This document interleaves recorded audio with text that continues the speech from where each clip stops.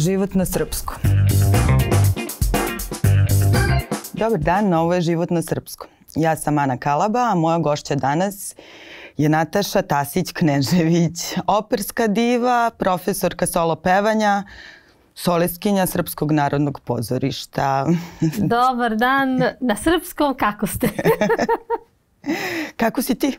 Pa evo dobro, malo sam bila umorna, imali smo uh, premijeru Aide, predstave Aide Giuseppe Verdi, ove godine inače Verdija i ovaj, Aide je spektakl koji zaista treba pogledati ne samo zbog scene, zbog kostima i zbog režije, već zbog jedne ljubavne priče koja je onako iskonska između uh, dva suprotna naroda koja su u, u, u ratu rodila se ljubavna priča između vojskovođe i princeze. Znači vojskovođa Egipta i etiopijska princeza. Mm. I ovaj, e, tu priču ispričao fantastično kroz režiju Aleksandar Nikolić i kroz pokret e, Aleksandar Ilić. Meni, kada sam ja pevala, moram se zahvaliti maestru Kojiću koji je uh, dirigovao tu treću predstavu koji je bio fantastičan, zaista une neki novi život u, u predstavu, u samu dinamiku, u muziku i doprineo je da se jedan život e, koji koji se mnogima čini dalek u stvari približi zato što je ljubav svuda prisutna. A, I mi smo imali na našim prostorima ljubavi koje su bile, da kažem, iz različitih e, nacionalnih e, podneblja i iz te ljubavi se, se, se, su se u stvari rađala i najlepša deca i najlepše poruke su prenošene. Tako da ja ide u stvari priča o životu.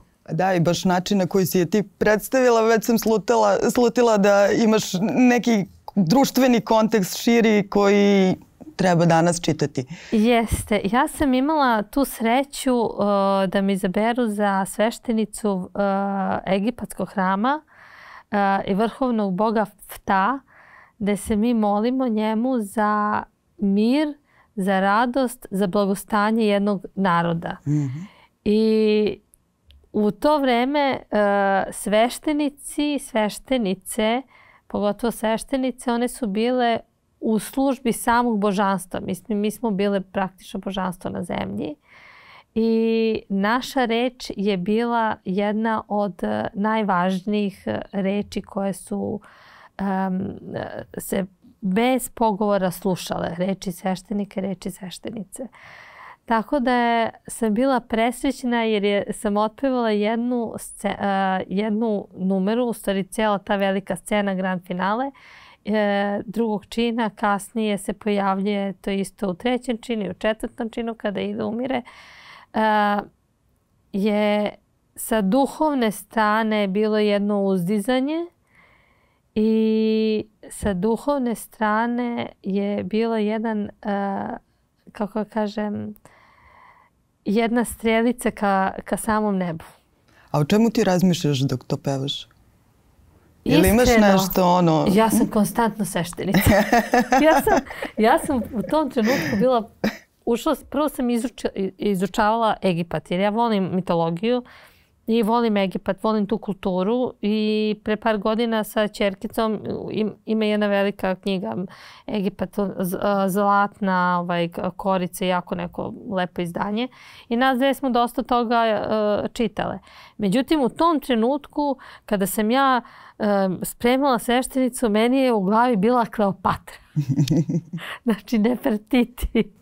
Meni su bile sve te, sve te fantastične žene Egipta koje su, ovaj, kako se zove, umele da se uh, izbore za vlast u to vreme kada je uh, faraon bio, da kažemo, glavni faktor. Znači, kada se reč faraona mm. slušala, e, one su bile te koje su uspele da se izbore za kompletnu vlast i meni u glavi bila isključivo Kleopatra, Nefertiti, sve te velike ovaj, egipatske vladare.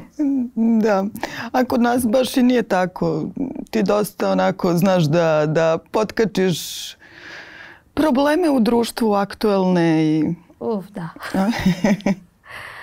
Pa da, nisam baš od onih koji vole da prećute stvari koje se dešavaju u društvu, zato što ja mislim da ako mi ćutimo svi i ako sa, e, nabijamo glavu u pesak, e, da ćemo na taj način podržati se ono što ne valja u društvu, a mi kao društvo treba da napredimo i treba da evalu, evaluiramo. Znači ne treba da idemo unazad, nego treba da idemo napred, treba da težimo ka boljem. Mm. A ako stalno nabijamo glavu u pesak i govorimo to je daleko, to se meni neće desiti, to mene ne treba da dotiče, uh, doticat ćete.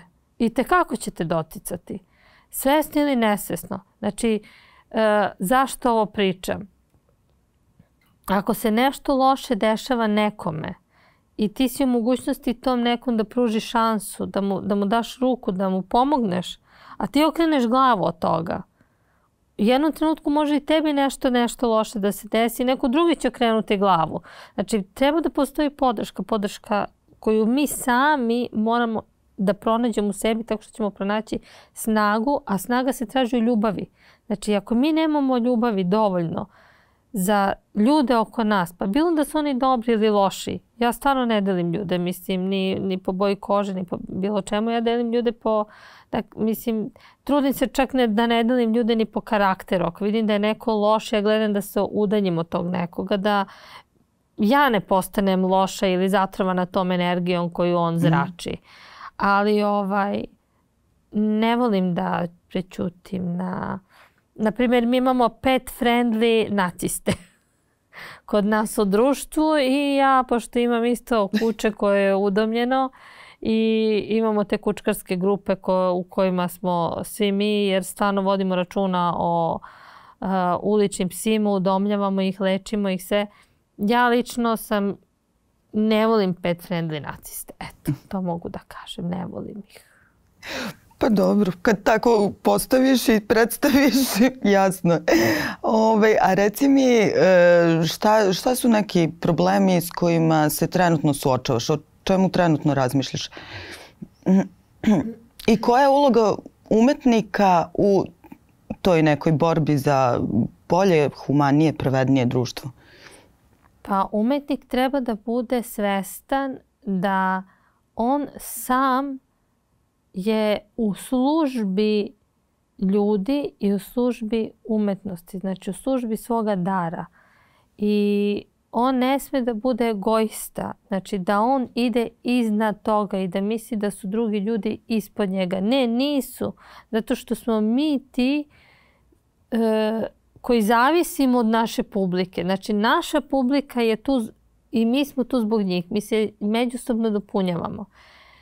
Uh, uloga umetnika u ovom svetu jeste da pruži pre svega šansu ljudima da vide lepotu, da vide određene probleme koji se javljaju u društvu. Naprimjer, kroz uh, Dostojevski je to jako, jako lepo opisao u svojim knjigama. Da, da, da, Sudija Majić je to jako lepo pisao u njegove dve knjige, da, uh, sad pogotovo dec, uh, Ostravo Pelikana. Onda Meti Kamberi je to napisao u svojoj knjizi Grad Bola. Hoće kaže, to su sve umetnici. Bilo da su oni pisci, vajari, uh, izvođači, ali to su sve umetnici koji kroz neke svoje, da kažemo, životne situacije prenesu čitaocima ili publici ono što se dešava trenutno kod svih nas, bilo da je to u svetu, bilo da je to kod nas u državi, bilo da je to u nekom našem privatnom životu. Znači, umetnik je taj koji može da prenese nešto što je dobro i onda kad neko to vidi, on može to da primeni, može to da shvati, može i on da se menja kroz čitanje ili kroz neku opersku predstavu ili kroz mm. balet ili kroz do, jednu sliku. On može da se menja. Čovjek može da se menja. Čovjek je od energije satkan, a energija može da se menja. Ener, mislim, mi smo energetski takvi da možemo da se menjamo. E sad, da ćemo se menjati na bolje ili ne, to zavisi isključivo od nas. A jesi imala nekad nekih problema zbog nekih stavova izraženih ili... Znala si ti par puta onako da... da. Mm? Jesam. Da uzburkaš javnost, što bi se rekao.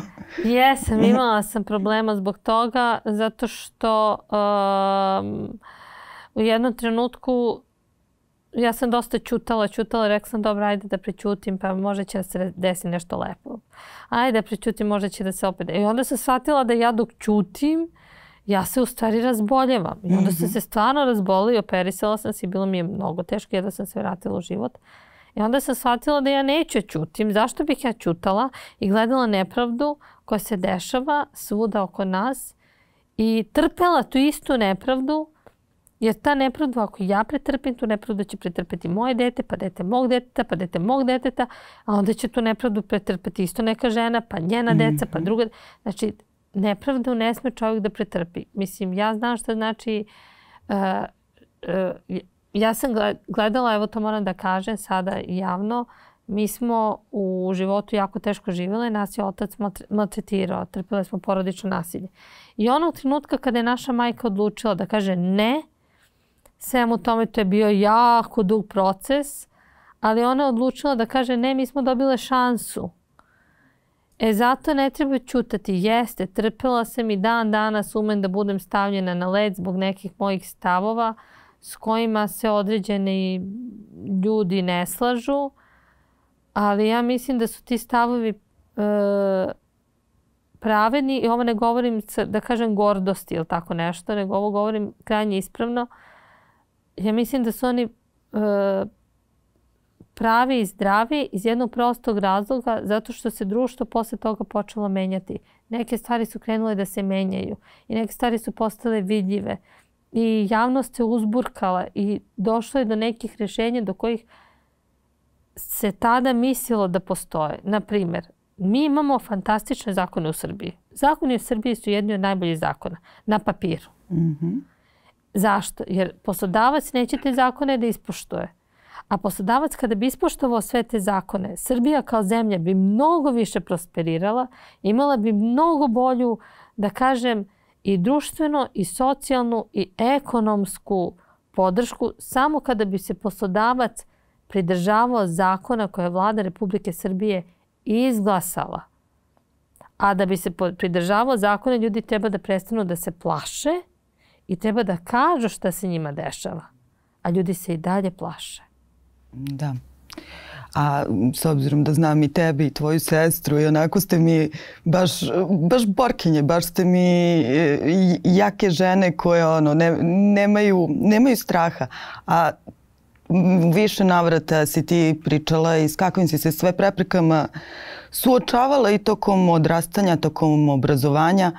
Tako da ovaj, mi, mislim da, da je da nekako ima smisla da, da sad stojiš i da stojiš iza svake svoje reči. Pa bilo je teško. Ali ovaj, ja mogu da kažem, imam, uh, kada sam sad, mislim, evo sad ću da se nadovežem na, Ana, na, na, na ove tvoje reči. Ima sad u pripremi jedan jako bitan projekat koji uh, mogu se zahvaliti stvarno Ministarstvu kulture Republike Srbije što je prepo, uh, prepoznalo i UN Women. Zove se Dare to Change mm -hmm. ili Usudi se na promene. Uh, projekat je inspirisan ženama kompozitorkama koje su bile dugo, dugo u senci svojih muževa, braće, sestara, braće pre svega, uh, očeva, a koje su fantastičnu muziku pisale. Mm. Clara Schumann, Fanny Mendelssohn, uh, Florence B. Price, to je prva afroamerička kompozitorka, uh, Amy Beach, prva amerikanka koja je došla na tlo Evrope, koja je inače pijaniskinja koja je izvodila svoju, svoje kompozicije i kompozicije na tlo Evrope. Hoću da kažem da su se one usudile da u vreme kada je ženama bilo zabranjeno da izvode, jer ženama je zaista bilo zabranjeno da izvode, uh, ne samo svoju muziku nego javno, nego i muziku drugih, kako se zove, kompozitori. Isključivo se tim bavili muškarci. E, pogotovo u operama to su bili kastrati. Ženama je bilo zabranjeno čak i da pevaju. Dečacke su kastrirali u određenim godinama ne bi mogli da pevaju ženske uloge. Tako da mi danas imamo Kerubina koji je a, muška uloga, ali ga peva ženska osoba, zato što je to pisano za kastrat. Mm -hmm. e, one su se usudile tada da naprave neku promenu u društvu. Pa zašto onda mi danas ćutimo? znači, zbog čega mi onda danas da. ćutimo? Mi imamo e, priču o Sveti Kasijani, ženi prvoj vizantijskoj kompozitorki, koja je fantastična jedna žena. Zašto onda žena ćute? Znači, nema potreba da ćutiš i da trpiš nešto mm. što ti ne odgovara. Treba da kažeš ne, ali ne u onom trenutku kada to stvarno ima svoju težinu. Znači, reći ne sa težinom, e, to je prava stvar. Mm. Ali govoriti ne, ne mogu, neću, teško mi je, to onda nema ni težinu. Ne, mislim, to je onda neko nećkanje. Ali kad kažeš ne, onda znaš zašto si rekao ne. Tako da žene treba da se bude i treba da shvatimo da je naš život vredan, da je život svake devojčice vredan. Ti si svoje vremeno probila jednu bitnu barijeru. Čitala sam skoro tvoju biografiju i setila se u stvari da si ti prvo vazduhoplovnu školu upisala. To mi je onako zanimljiv podatak bio. Ali da za malo da te spreče da, da uđeš u solo pevanje i da se baviš muzikom na da. način na koji si želela. Pa zato što oni to i dan danas e, I to, mm. jeste profesori, ne, ne svi, ali većina njih e, ne vidi bez obzira koliko to stvarno zvučalo nevjerovatno, ali ne vidi Rome uh, u ovoj oblasti. Vidi ih među violinistima, da mm. kažemo, ne harmonikašima, tako i nekim drugim instrumentima, ali uh, Rome Ne u solo pevanju. U operi misliš samo? Ne. Može u horu negde da se ne vidi, tamo negde bude zabačen. I to isto je pitanje da li to može, ali na akademiji ne. Mm. A je se promenilo nešto umeđu vremenu? Ti si sad tu i ti si svoje vremeno izabrana za najuticajniju romkinju. Pa znate kako, nešto je malo počelo da se menja. Mm ovo sad kako sam ja ušla u Srpsko narodno pozorište, to stvarno desio se taj splet okolnosti da e, je bilo, da su bila dva otvorena radna mesta za mene. E, tu te godine smo zaposlene Višnja Popovi i ja, Višnja Radosev i ja, ona je sad pevala Mnerisu, a idi ja sam već radila u muzičkoj školi Nobu i za, sam, sa mnom je samo taj neki premeštaj, da kažem, bio napravljen. Jeste, dosta toga se promenilo zato što smo postali vidljivi na jedan drugi način s te strane, ali poenta je otvoriti umetničke ovaj, e, krugove. Tako je, umetničke krugove, zato što i e, medije što se tiče televizije, da Romi budu i na, e, na televiziji vidljivi, na primjer kao speaker ili voditelji mm -hmm. programa i a što se tiče filma, da im se, na primjer, ja bih jako volila kada bi bilo na FDU primljeno uh, primljen neki glumac koji će jednog dana glumiti, na primjer, nekog predsjednika države ili nekog hirurga ili nekog, ne znam, ni advokata, zato što će onda uh, poslodavci videti, e pa ja, to on može da glumi, on može da govori na, i za, počet će da zapošljavaju i, da, i Romi će imati mm -hmm. iste mogućnosti pri zapošljavanju kao i neki drugi pripadnici. Pa to je ono što smo pričali u stvari. Od umetnosti može da krene promena. Od umetnosti sve mm. kreće. Pa kako su ljudi počeli da pišu? Znači kako, ka, na koji način smo se mi opismenili? Tako što smo uh, ljudi u, u drevno doba su crtali, pa iz tih crteža je nastala su slova, pa su onda su se kroz crteže i kroz slova krenuli su da, da napredu i da uče. Tako su, ta, znači umetnost je prva. Bez umetnosti stvarno nema nikakvog uh, napretka. A opera? Koliko danas opera e, ima smisla? Koliko interesuje Srbe? Pa interesuje, Jel kako da? da ne interesuje. Pa u Novom Sadu mi smo imali Rigoletto, pa smo imali Fausta, sad imamo Idu, e, evo sada će uskoro ići Trubadur, ide skraćena verzija Travijate zbog COVID-a tako te neke stvari. E, priprema se velika opera, e, ne znam ja da smijem da pričam ili ne smijem, ali jedan veliki spektakl na kraju sezone će ići Karmenje, mislim da će ići, tako pričamo. A hoću ja da kažem da je svaka opera puna. Mm -hmm. Jer kada je dobra režija, dobar casting, e, dobar taj da kažemo vizualni efekat, publika dolazi. A bitno je da se napravi filmska priča. to je bitno. I onda dolazi publika. A i to su priče koje su uvek aktualne. Mislim, tako su i pisane. Pa pisane su. Evo sad ću vam kažem nešto, na primjer, za Carmen. Daj Bože da bude to, biće, hvala Bogu. Uh, oni nju predstavljaju, većina njih gleda na Carmen kao na eto tako neku romkinju koja igra peva, to je rekla još sad jedna divna umetnica, čije ime neću da spomenem. Carmen je žena koja igra peva, pleši i na kraju umre. I to je rekla na konferenciji za štampu. I ja sam zabezeknuta. Dobro.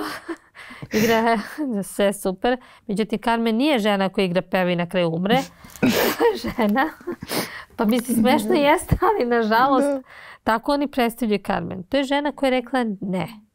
Šta je ona žela? Ona, ona jeste romkinja koja zaista voli da igra i da peva. Međutim, to je žena koja je izuzetno sposobna, koja se do, do ušiju zaljubila u čoveka koji je maltretirao, ljubomborisao, tukao, pretio noževima i ostavim ona je odlučila njega da ostavi. I u trenutku kada on njoj kaže vrati se ovaj, kako se zove meni, ona je rekla jednu jako ključnu rečenicu koja je u stvari vodilja uh, čitav život svima nama i to znam i zbog svoje majke. Rekla je ja ću pre umreti nego ponovo biti sa tobom. Znači, ona je izabrala slobodu kroz smrt. E, to je žena koja je rekla ne ugnjetavanju. Tako da to nije žena koja igra pevi na kraju umre. znači, banalizovanje. Već je to žena sa karakterom koja je znala šta da kaže, kada da kaže i u kom trenutku da kaže. I bez obzira što je ona umrla, bez obzira na to, ona je izabrala slobodu. Da. Koliko slobode ima u Srbiji danas? Zatresla se sa sto. Pa sve zavisi šta je to sloboda. A šta je za tebe sloboda? Pa sloboda je kada možeš da kažeš ono što misliš, a da ne snosiš posledice. Mm. Svoje. Ja sam snosila posledice za neka svoja razmišljanja, ali ovaj, i dalje stojim iza toga. Bez obzira na sve. Mm. Imam blog. Njemu se sve vidi. Čime se ovih dana baviš? Sve bloga. u blogu? U blogu. E, sad se bavim u blogu. Trenutno mi je, ovaj, kako se zove, školska godina na pameti. Aha. Zato što ovaj, deca nisu išli u školu, da kažemo, godinu i po do dve ili su imali i online nastavu ili su imali polučasovne e, te časove to mm -hmm. pola sata i odjednom kada su ušli u redovnu, redovnih 45 minuta uh, profesori su krenuli da bombarduju testovima i proverama znanja. Ne možeš dete da bombarduješ testovima i proverama znanja kada on imao pola sata da nauči pod znacima navoda nešto. Druga stvar, online nastava za romsku decu je bila uh, misaona imenica mm -hmm. u naseljima gde nema struje. Mene je baš interesovalo kako su oni mogli da sprovode tu, rom, tu online nastavu. Drugo, bilo je deca u zabačenim selima Srbije koje nisu romska deca, koje su izuzetno siromašna, koja nemaju takođe dobar internet, e, nestalo im je struje, znači koliko puta je nestalo struje sad na jugu Srbije po nedelju dana praktično mm. nema i struje ljudi. Nestajala struja i u sred Beograda. Upravo tako. Da. tako. I onda da. ne možeš da pratiš to mm online nastavu. Znači, trebaju profesori malo da imaju uh, empatije prema toj deci koja su se vratila u školu. Drugo, ta deca su izgubila 100% nekoga jako bliskog od covid -a ili im je neko bio bolestan od covid -a. Znači imali su stres da će možda nekoga izgubiti u toj kući. Znači nije situacija tako da ti tu decu bombarduješ. Mm. E to mi je sad ovaj. Druga stvar koja je isto neverovatna, kada pada kiša, pošto je ministarstvo prosvete, evo ministre, vama se obraća. Rekli ste da moraju deca da budu što više napolju, pa kako onda deca na, po, po pljuskovima ih izbacuju napolje određene škole uh, da bi oni bili napolju. Pa ta deca se razbole, dođu kući bolesni, ljudi misle da je COVID, opet ne idu u školu. Znači, to su toliko neke nelogičnosti ili onda napišite, pošto sam ja zvala direktora u školu koji ide moje dete, kaže ministarstvo nije dobro preciziralo. Pa neka onda ministarstvo precizira u kojim slučajima deca idu napolje ili ne idu napolje. A jesi ta mama koja zove direktora? pa pozove. Redko kad ne da mi dete. Ali ovaj, za neke stvari da, zato što nisu dobre. Mm. Kada vidim da nešto ne valja, onda pozove. A kako je tvoje čerki u školi u svemu ovome? Što se tiče covid i ovih mm -hmm. online nastave, super, ona se super snašla. Ona voli da uči, tako da s tim da. nema problema. Malo je tvrdoglava, znači na tatu. ali zaista voli da uči i stvarno nemamo problema sa njom. Ja vidim da često deliš i neke anegdote i kako da. vas organizuje. ja pre neko veče, znači, ja sam mislila stvarno da će da mi padne mrak na oči. Rekla sam, maki, roknuću se večeras. A ona mi kaže, mama, rokaj se sutra, ali prvo me, preti, prvo me ispitaj sunčevi sistem. Tako da eto. Htela sam te pitam, isto, vi ste baš muzička porodica i tvoj suprug je pijanista. E, kako, kako je vama bilo tokom celog ovog perioda? E, pa bilo je jako teško zato što e, mi zavisimo od e, publike i od poslova, znači s te strane. Ja mogu da kažem u početku stvarno smo se svi nekako izorganizovali oko slobodnih umetnika, oko te scene naše umetničke da opstane. Kasnije je premijerka dala dobar model da, da za pomoć slobodnim umetnicima. E, ja mislim da je naše ministarstvo redko koje ministarstvo koje je podržalo ovaj, da pod, pozorište muzeji nestanu, ne, ne prestaju sa radom, što je bio veliki problem u okruženju gde su svi stali mm -hmm. i bili su bez ikakvih primanja. Mi smo imali koliko toliko neku sigurnost u Srbiji. Jeste sa smanjenim kapacitetima, sa redovnim PCR-ovima, sa vakcinacijom, ali mi jesmo radili i to je stvarno blagoslov trenutno što smo ovaj, bili u Srbiji. Da smo bili negde drugde, mm. to bi bilo jako, jako strašno. Ali eto, stvarno hvala. Mislim, ministarstvo je zaista stalo iza, iza umetnika u Srbiji. Da. To je nešto neverovatno što nam se desilo. Dobro. A, sad se malo stabilizuje situacija. Šta, šta možemo da očekujemo? Očekujemo. Evo ovako, u novembru očekujemo Dare to Change projekat 20. E, novembar u, u 20 časova kolara. Slobodan ulaz, blagajne su, se mogu preuzeti, e, besplatne karte se mogu preuzeti na blagajni Srpsko na, e, na, Kolačeve zadužbine. U Srpskom narodnom pozorištu imamo Travijatu, Trubadura i Rigoleta u novembru. U decembru nadamo se, ako Bog da se bude kako treba, ponova ide ide i mm -hmm. onda nam kreću pripreme za sledeće dve predstave koje će biti premijerne u Srpskom narodnom pozorištu, tako da smo punim kapacitetom idemo napred. Da. Hvala ti, Nataša. Hvala vam puno, Ana.